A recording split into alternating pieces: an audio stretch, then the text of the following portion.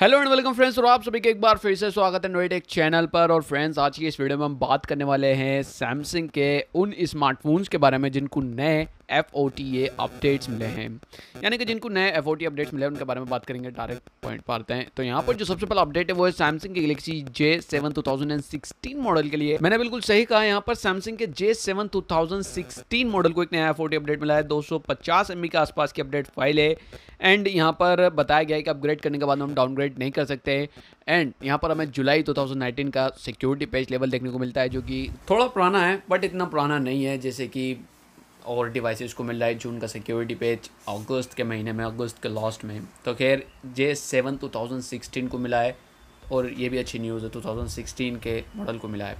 खैर, यहाँ पर जो अगला अपडेट है, वो है सैमसंग के गलेक्सी जे सिक्स इन्फिनिटी के लिए यहाँ पर सैमसंग ने अपने जे सिक्स इन्फिनिटी के लिए फाइनली काफ़ी टाइम बाद में एक अपडेट को रोल आउट करा है, जहाँ पर कि हमें जो है एक सिक्योरिटी पेज लेवल देखने को मिलता है। इसके अलावा यह बताया जा रहा है कि गेमिंग परफॉर्मेंस को डाउन किया गया है हीटिंग इश्यूज़ को फिक्स किए गए हैं। हीटिंग इश्यूज़ तो वाकई में फिक्स हुए हैं बट गेमिंग परफॉर्मेंस अगर डाउन हुई है तो यार इतना अच्छा नहीं लगेगा मतलब काफ़ी इंपॉर्टेंट है गेमिंग परफॉर्मेंस सभी के लिए। बाय द वे यहाँ पर हमें अगस्त को सिक्योरिटी पेज यानी कि लेटेस्ट सिक्योरिटी पेज लेवल देखने को मिलता है। और अगर आपने अभी तक वाली वीडियो नहीं देखी जे सिक्स इन्फिनिटी के इंस्टॉलेशन वाली वीडियो तो देख लेना। लिंक मैं आपको नीचे डिस्क्रिप्शन में दे दूँगा। आप वहाँ से उस वीडियो को देख सकते हैं। सो so, वीडियो में आगे बढ़ते हैं एंड बात करते हैं यहाँ पर लास्ट स्मार्टफ़ोन के बारे में जिसको नया एफओटी अपडेट मिला है जो कि है सैमसंग का गलेक्सी जे फोर प्लस हाँ सैमसंग का जे फोर प्लस को मिला है।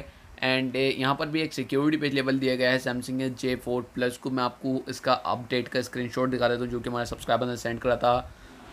एक्चुअली uh, मैं लगभग दो दिन पहले करा था तो नाम मिल नहीं पा रहा मैं ढूंढ रहा था काफ़ी बट कोई बात नहीं ये वो स्क्रीनशॉट है।